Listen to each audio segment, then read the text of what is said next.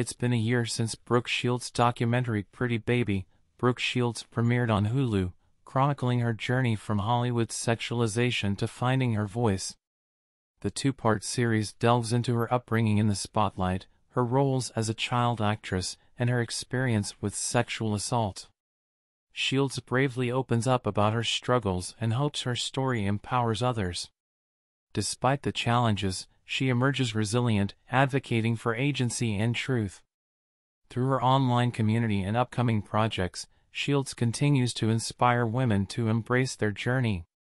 Thanks for watching.